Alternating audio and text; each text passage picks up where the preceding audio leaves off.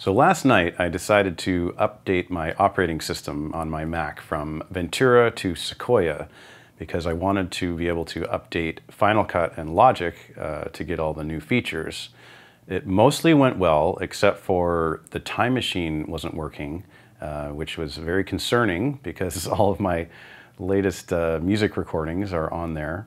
Um, so I did a bunch of Googling and uh, saw a bunch of stuff about the you know hard drive formatting, and I tried that, um, reformatted it to a bunch of different um, formats, and uh, no luck.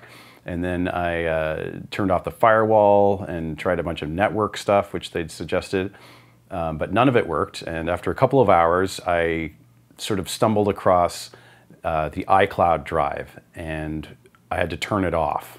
So as soon as I turned off the iCloud drive in the system preferences, uh, I was able to back up to my time machine. So um, it may or may not be, if you have this problem, the answer, but uh, it's worth a try. I wish you the best of luck with your operating system updates. Thank you for watching, and I'll see you in the next video.